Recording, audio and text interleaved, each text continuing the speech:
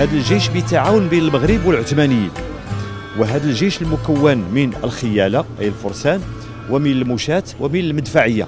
وهذا شيء له أهميته أي تحول السلاح من السلاح الأبيض إلى سلاح ناري وأصبحت لدينا في المغرب صناعات للمدفعية وللبنادق بل وحتى المسدسات التي تعمل بطريقة سريعة.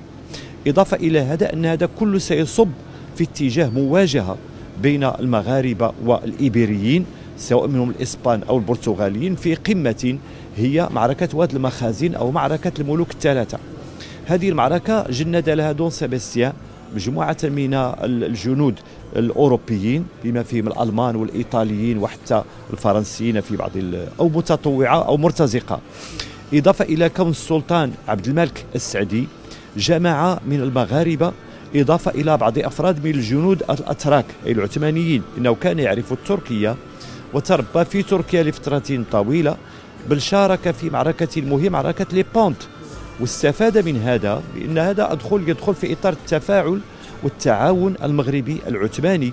إنه كما تعلمون أن العثمانيين تربطون بهم رابطة الدين في حين أن البرتغال أو الإسبان لا تربطون بهم آنذاك أي رابطة.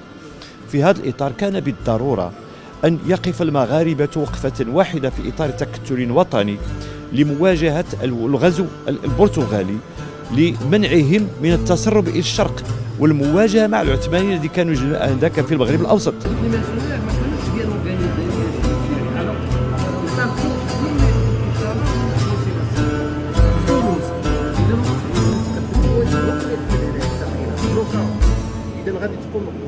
غادي يديروا عمليه غيرجعوا للور وهذيك الوقت غيرجعوا للور غادي يدير عملية تصفوك الأول هذوك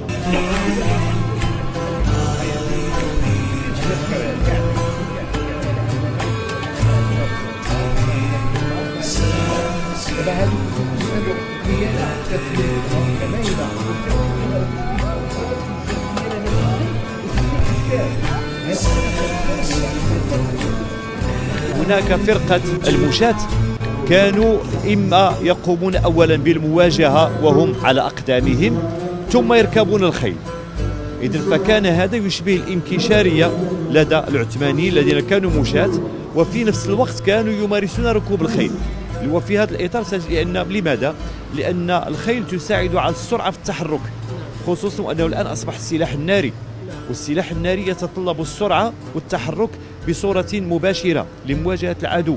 خصوصا وأنهم الآن بصدد التطويق العسكري. فكانوا أولا يجلسون على الأرض وهناك فرقة أمامية لكي تقوم بضرب البنادق وفرقة خلفهم لتزويدهم بالبنادق ملوءة بالبارود. وهذا يؤدي إلى تحول مهم في المجال العسكري وبعد ذلك يركبون على الخيول من أجل التطويق. إذا في حال دخول العدو في الوسط وهذه خدعة عسكرية ومخطط عسكري. له أهميته كان يقوم به حتى العثمانيون في بعض المعارك التي خاضوها سواء في الأناضول أو في منطقة أرمينيا أو في المناطق المجاورة للمنطقة العثمانية.